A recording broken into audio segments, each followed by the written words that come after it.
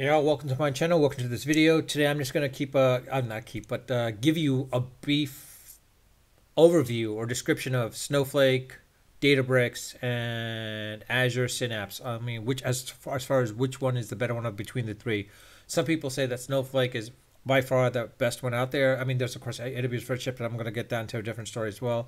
But there's Databricks. So like the main competitors they're saying with uh, Snow Snowflake is Redshift, but of course now Azure Synapse coming out on board as well too. It's becoming a much major player as well to this point as well too. Um, now Snowflake, it's a cloud-based uh, data warehouse uh, known for its scalability and ease of use. It allows users to quickly and easily store and query large amounts of data.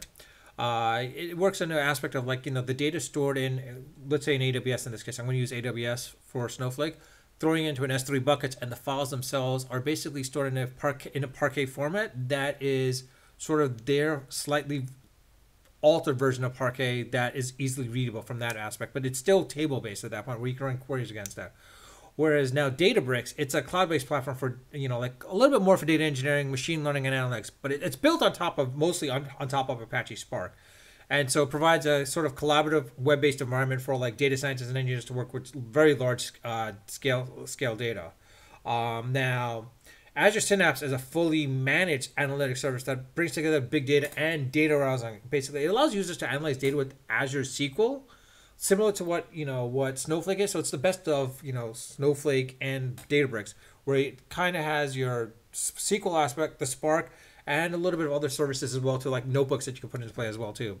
Um, some of the you know like each one of it, each one of them has like its own advantages and disadvantages. Like Snowflake is great for uh, quickly and easily storing and querying large amounts of data, but it may not be as flexible as Databricks or Synapse. Uh, Databricks is a powerful platform for data engineering and machine learning, of course, but it has more complex to set up and it's definitely more complex than Snowflake to be quant. And you also have to know a little bit of Spark to do that. Whereas Synapse, it allows you to you know analyze large data with their you know with Azure SQL and or and or Spark. Um, but one of the other big differences is it's baked into Azure at that point, whereas Snowflake at least can work in all of the three uh, cloud providers. Uh, same thing with Databricks as well too. They can run the all three data uh, cloud providers at that point as well too. Um, now, which one should you choose? It's a matter of opinion at that point. Um, so one of the advantages of Snowflake, of course, is like its scalability. Snowflake is designed to handle large amounts of data and can easily scale up or um, scale down to meet the needs of the organization, like a warehousing environment. You know, they call it warehouses basically. Uh, Snowflake has this sort of unique architecture and it separates the storage and computing, which allows you to like basically query the data. It's almost like an MPP architecture on a storage environment, basically. So like they can have one single storage, but you just build out an MPP architecture against it, basically. Uh, of course, again, multi-cloud support. It can run on multiple platforms, uh, AWS, Azure, and GCP. Uh, so you could choose which one are the best. And then, you know, if you have to migrate the data from one cloud platform to the other, it's just migrating the data. That's pretty much it. Uh, Snowflake is definitely easier to use. It's like user friendly, has a user friendly interface, uh, and it makes it easy for non technical users to work with the data. Uh, sec- security wise, now Snowflake uh, definitely owns uh, offers a wide range of security features, including encryption, access controls, and data auditing.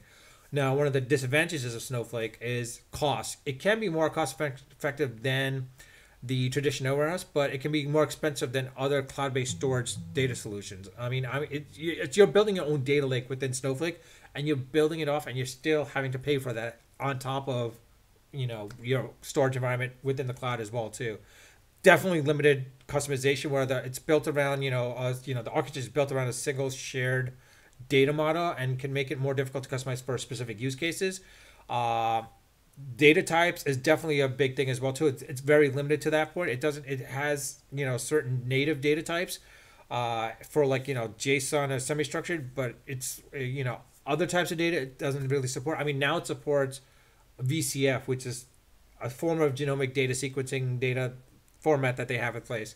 Uh, and of course, there's not a hell of a lot of integration with other tools, uh, like with other analytics tool sets. I mean, it's like in the, on their cloud on the cloud platform that you're at as well too. Uh, so I mean, that's uh, you know one that's Snowflake. Now, some of the advantages of Databricks basically. Uh, it's built on you know Apache Spark, of course. So like you know, Spark is a very powerful framework.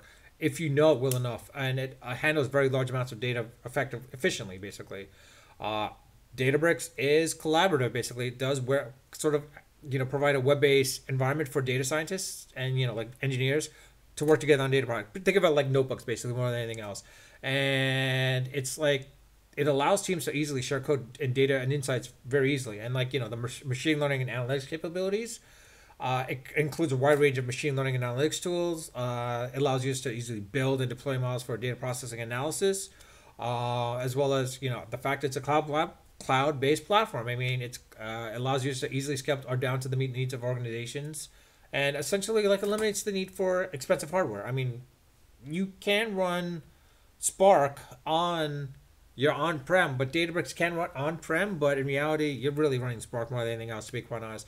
And of course, Databricks does run on multi-cloud platforms as well too. Just like Snowflake, it does run on GCP, AWS, and of course Azure as well too.